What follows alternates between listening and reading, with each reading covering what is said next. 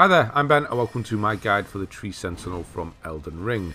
The Tree Sentinel, let's say, has a bit of a reputation, but he's actually not that difficult at all if you use a tactical advantage. Height. Magic builds are already set up for this, but melee might not be. You'll need a bow if that is the case. You can buy a bow from the Nomadic Merchant just south of the coastal cave. He has it for sale for 600 runes.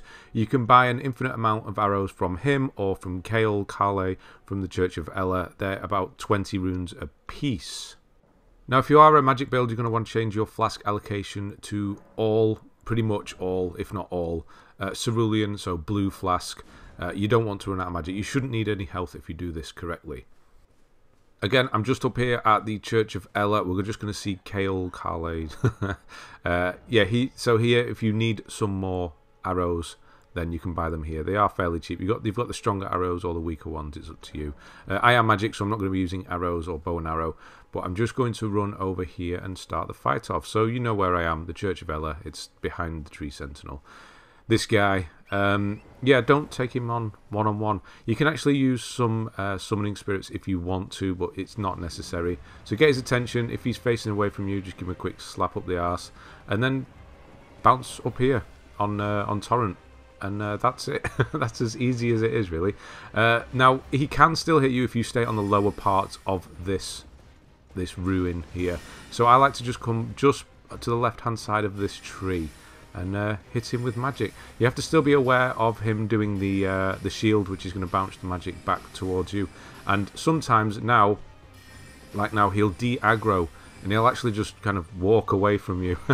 that's completely normal. Don't worry. If he de-aggros, that's good. That means you can just start peppering him with uh, with magic and uh, not have to worry about it. Now, don't worry. You don't have to go and chase him down if this happens.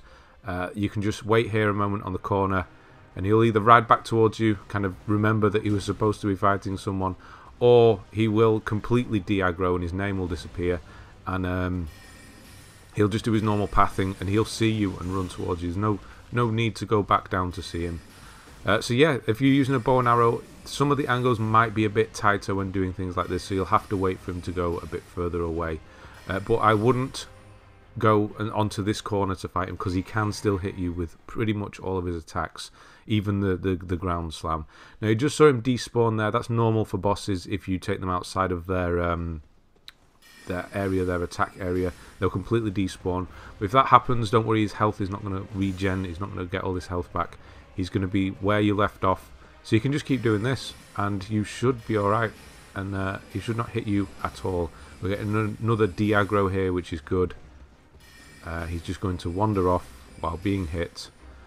Hopefully this stays as it is um, with the whole de-aggroing thing. This video's fairly new, fairly it's coming out fairly near the release of the game. Um, we're on patch 103 here.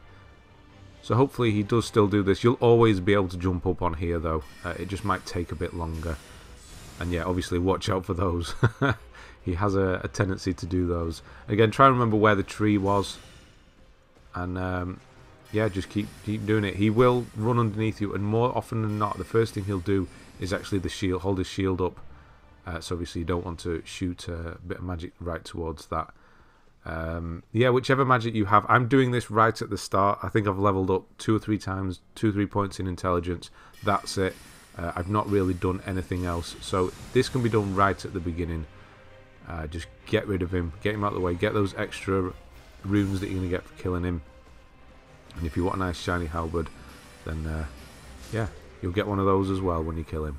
But that's it, yeah, he's once he's dead, he's dead. That is just an enemy, by the way. He's not technically a boss. You will fight some more of these later on. Spoiler alert. Uh, yeah, there you go, Golden Halberd. And that's as easy as it is. Right, thanks very much for watching.